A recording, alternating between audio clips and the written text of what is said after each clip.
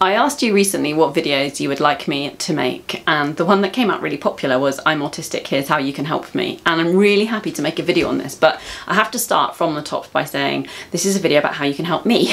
so when you've met one autistic person, you've met one autistic person, we're all very different. So some of these ideas might help you to help someone else but they're told from my point of view. okay, so I'm going to give you three things. So the first one is don't tell me that I don't seem autistic.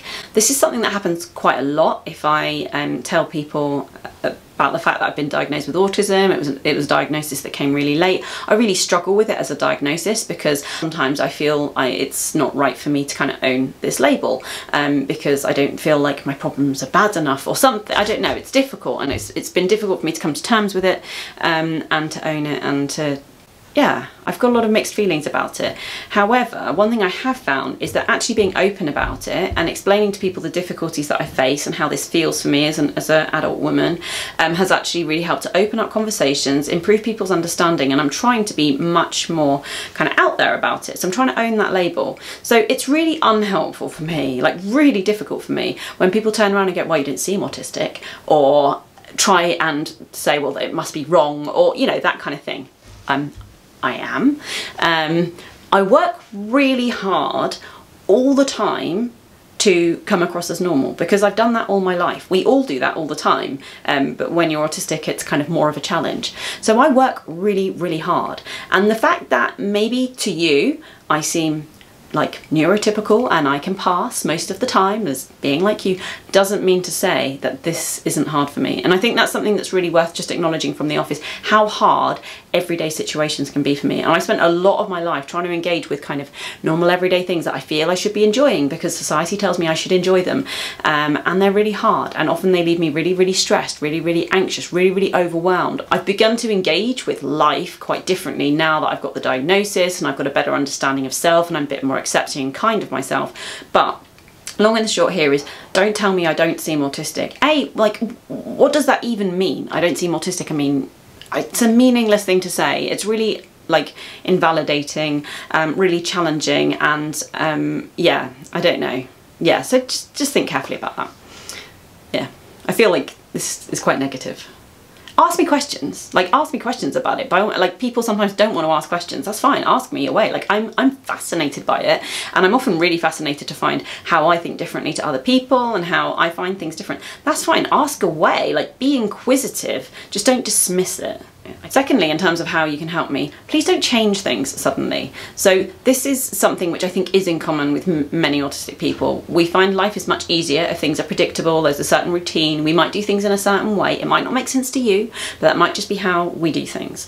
And it can be really difficult if things change unexpectedly. That's really hard to manage and can create a lot of anxiety and worry and uncertainty and just makes life harder. There's more complicated sums that have to go on in our heads to figure out life when it changes um, and it can just make us generally uncomfortable. Things which seem really tiny to many people can feel massive to me um, and, and other uh, people who are autistic sometimes. So for example, like really simple example, in uh, my house at home, then I sit in the same place for dinner every day like around the table and sometimes there are more people for dinner and sometimes there are less people for dinner and sometimes everyone else in the family might move around or someone might just sit in a different seat because they feel like it that never ever happens for me. I sit in the same place. And if I go somewhere else to eat I will sit in the same place in relation to other people as I normally would. So I'll always sleep on the same side of the bed, sit on the same side of the sofa, sit on the same place around the table.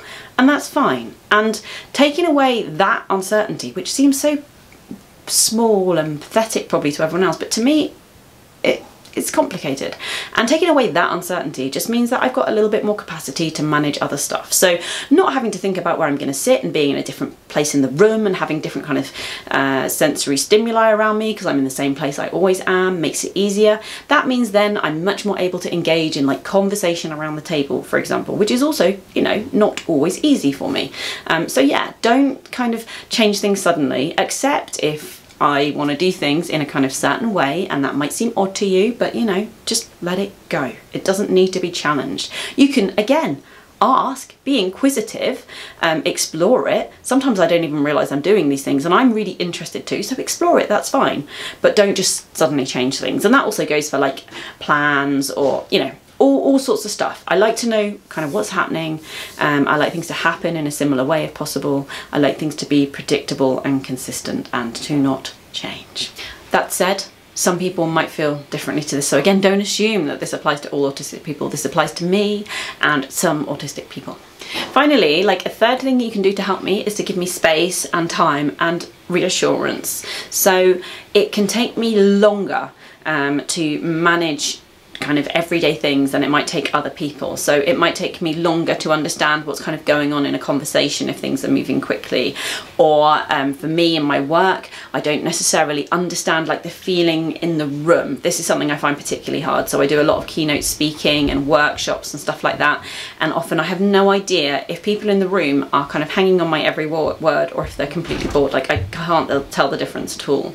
And so I look for reassurance and usually I'm pretty upfront about that and say, I'm autistic, I can't read the room. Every now and then I'll ask you if this is going okay. If it is, tell me. If it's not, tell me. Again, I really don't mind people being really blunt. I am really blunt.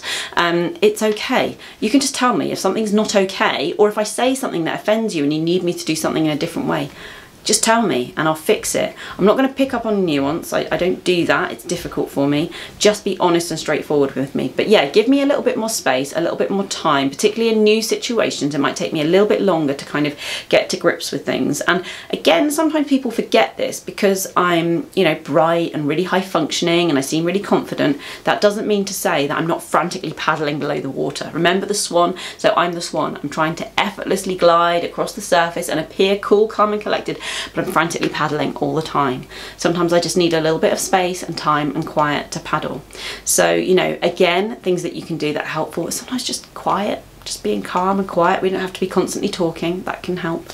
Giving me a bit of space, asking me if I need a bit of space, if I want a bit of time out. I spend a lot of time hiding. I go hide in toilets on my car just to get a bit of time uh, and space. So give me space.